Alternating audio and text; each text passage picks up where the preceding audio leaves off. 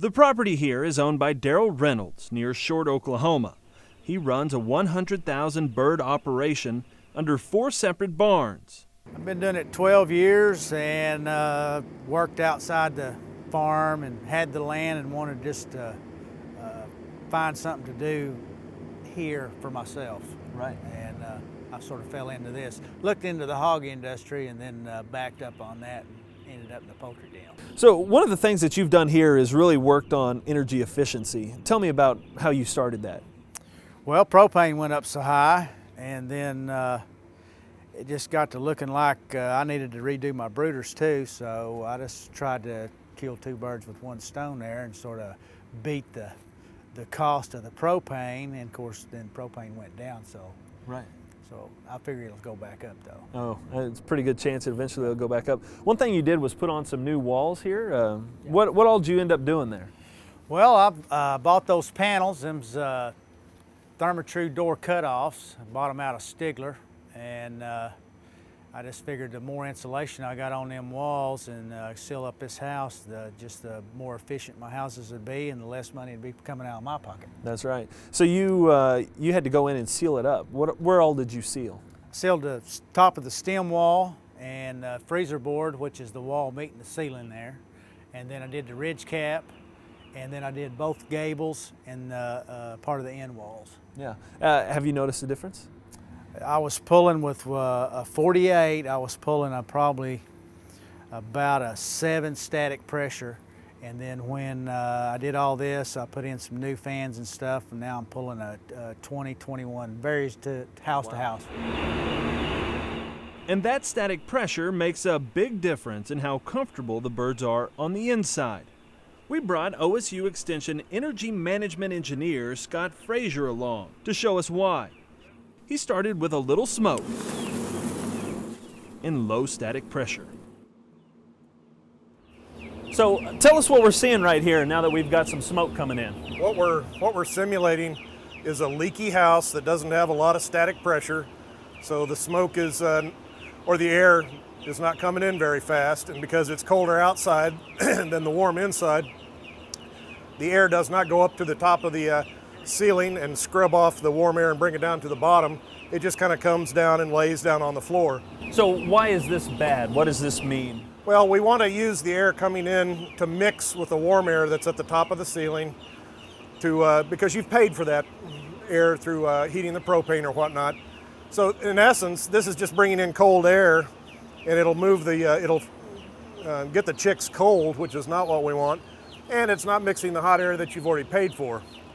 We want it, the air to come in a little bit harder so that it goes up along the roof line, mixes with the warm air that you've paid for, and then comes down to the floor and uh, heats up where the uh, where the birds are.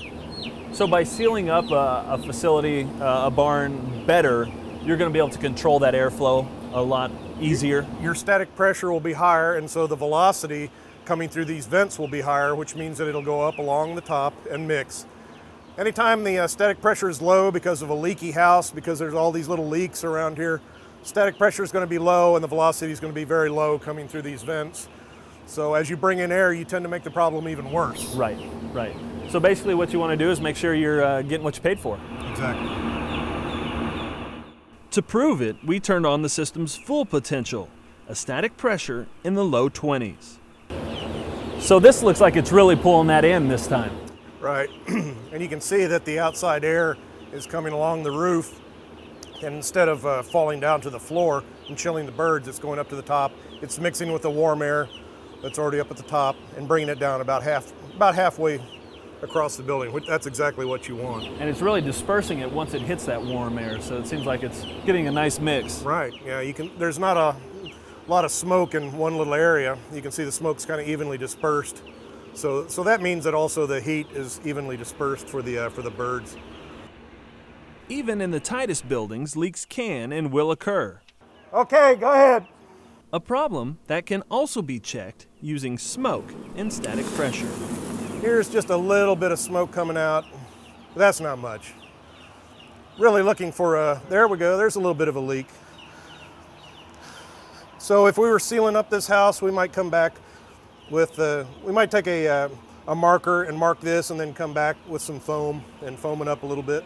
Frazier says there's a payoff in sealing and insulating these large barns. Owners could expect a savings anywhere from 10 to 20 percent on their heating bill, keeping the heat where it's needed and the animals comfortable and growing. It's an image that's easier to see in infrared.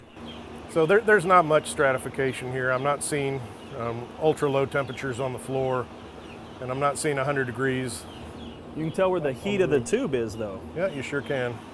Now you can see the uh, far wall down there is a little bit cool, so that might uh, be able to have some insulation on it.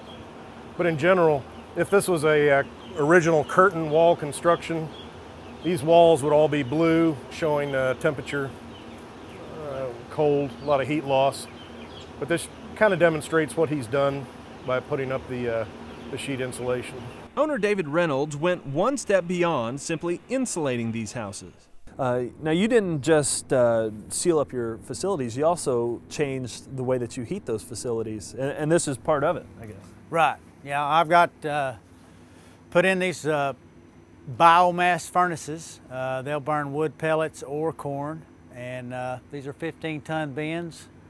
They'll hold 15 tons, and I got one at each house, and they'll automatically feed, so it's, it's not a whole lot of labor. So you're not out here with a shovel trying right. to do it every night? Right. Yeah. Um, so if we look inside, I mean, it, it really just kind of looks like a, a wood burning stove.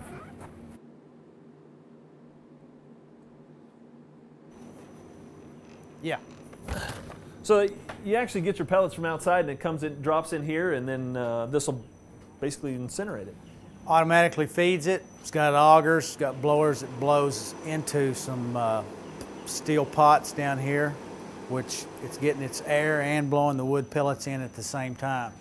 And then it heats up the firebox on the top and pushes it inside, and then it's got a distributor box up in the ceiling that puts it in the house. Yeah, the big plastic tubes that kind of run. 30 inch tubes. Got holes at four and eight o'clock, distributes the heat, and uh, I get my birds are 10 days old, and the day they come out here, they do a pre-brood. And uh, field man comes out, checks my floors. My floors was at 91 degrees.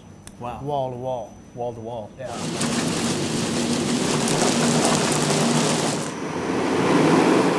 Why would a producer really want to consider something beyond the typical gas type systems that we've been used to seeing? Well, as, as Dr. Payne mentioned, the, the price volatility of fuels is what's really driving uh, agricultural folks um, a little bit batty. Um, it, it's a little bit low right now, relatively speaking, but it'll go back up. Uh, all we need is a hurricane to come up the Gulf, and uh, propane, which tends to follow natural gas, the price will uh, skyrocket. Overall, on average, that might not be bad, but it makes it very difficult to uh, to plan anything out beyond a few months, really. Yeah. Uh, the renewable aspect of this, the fact we're using a wood, a, a bioenergy uh, system, does that make a difference long term as far as price, let, keeping those prices pretty level? Well, um, we would assume that the price of wood would be uh, somewhat more stable than fossil fuels. It may not be if enough people start buying these systems and installing them, but for the time being, the price of wood should be a little more stable. Plus, if we have any kind of uh, carbon legislation come down the road, this is essentially uh, somewhat carbon neutral, and so it might be uh, applicable for carbon credits. Not only are there fuel cost savings and potential environmental benefits, but these 800,000 BTU rocket furnaces are providing Reynolds productivity improvements as well. So this actually provides a drier environment then? Dry heat. Dry heat. So you're not drier litter, healthier bird. Right. It's affecting your production then too. Sure. And then I don't have to buy any bedding. I've not put any bedding in in a year. So I'm not carrying it all out and putting it on here and, and buying a twelve, fifteen hundred dollar load of rice hulls. Right. I can keep that in my pocket. Huh, that's great. What kind of payoff are you looking at on something like this? When they did the numbers on this, the they was looking at five years, but fuel was also 215 a gallon at that time. So with fuel dropping, it's probably going to stretch it out probably around six years or so. Sure, sure. But well worth it? I think so. We'll find out soon. We'll find out.